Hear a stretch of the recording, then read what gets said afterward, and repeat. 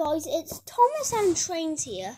So, if you have watched my video, James's Crash, you might know there's a Harold plush in it.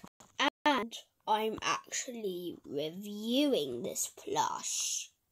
So yeah, guys, I am reviewing my Harold plush.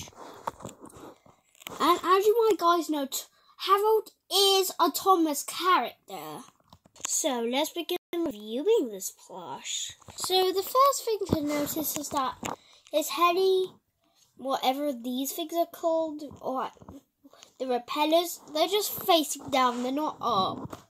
Yeah, that yeah, I mean, it is a plush, and it's not an actual helicopter. Yes. Yeah, and you can literally just pull them around.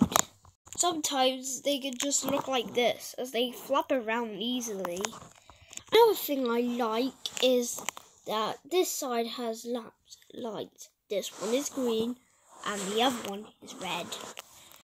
And also we've got Hamilton's name right here. Also we have it on the other side.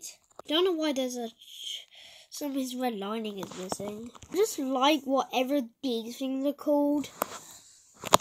But we've got this thing, the little repellers on the back. Yeah.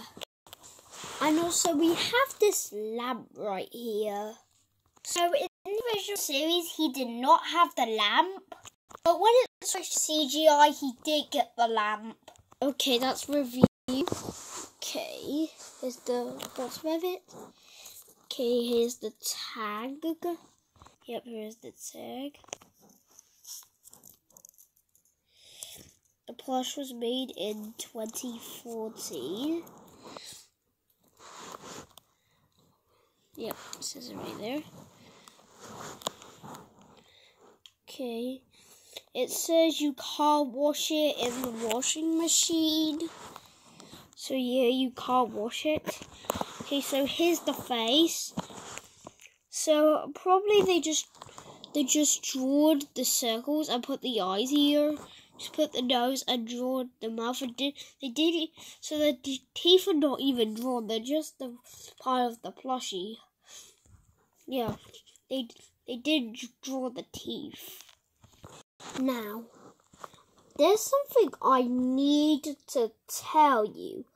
This was originally going to be one of my birthday presents, but there was one day where I could choose. Well, I could choose one of my birthday presents, I cho- and I chose Harold.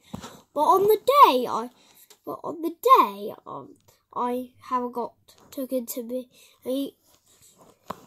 He, I actually got another Harold plush on the same day, but he that one's gonna be my birthday present now. It's a smaller Harold. So yeah, this is the review on the Harold plushie. There are also more Thomas plushies that were made, such as such as Sir Topham Hatt or Bertie. Yeah, I hope I'll get them in the future.